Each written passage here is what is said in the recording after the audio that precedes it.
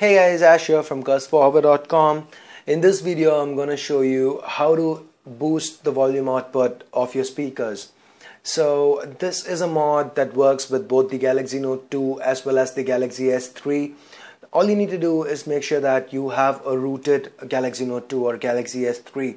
Uh, right now I'm using a Galaxy Note 2 in this video, but the procedure is exactly the same for the Galaxy S3 as well.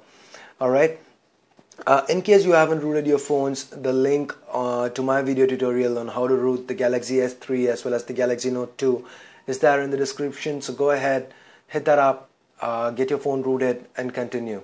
So guys, the first thing you need to do is go to the download section in the description. There will be two links there. One uh, is the mod file for the Galaxy S3. The other one is for the Galaxy Note 2.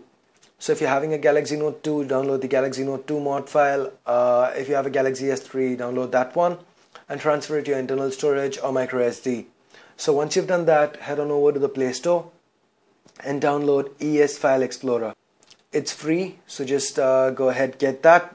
And once you've downloaded ES File Explorer, just hit the menu button, go into Settings, and scroll down, hit Root Settings, and enable Root Explorer up to root and mount file system.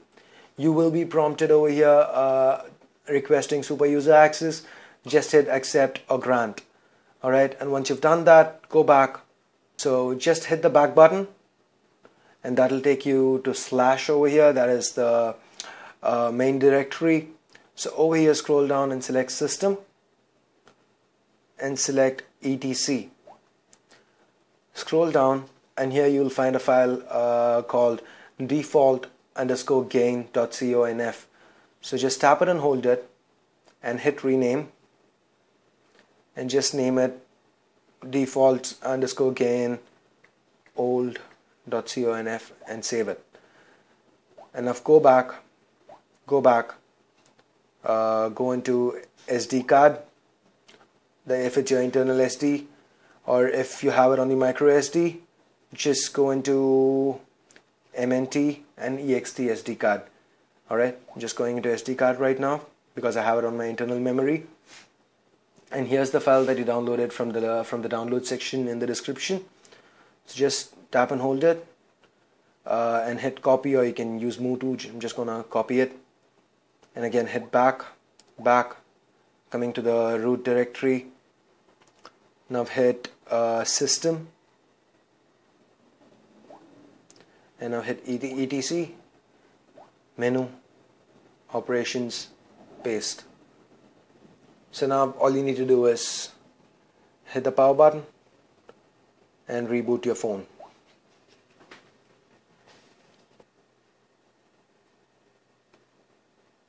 Alright guys we're back up. So right now if you check it'll take a few seconds to open up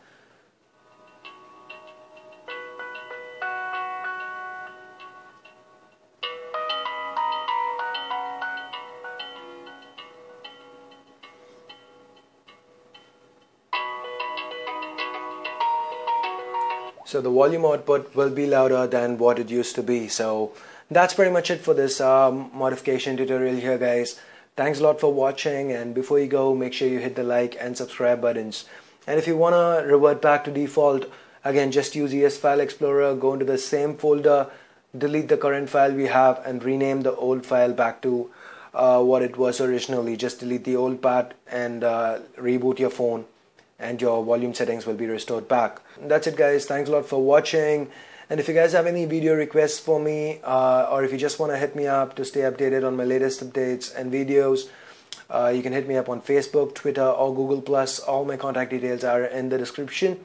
So thanks a lot for watching guys and again stay subscribed and this is Ashia from cursed4eva.com signing off. You guys have a great day. Bye bye now.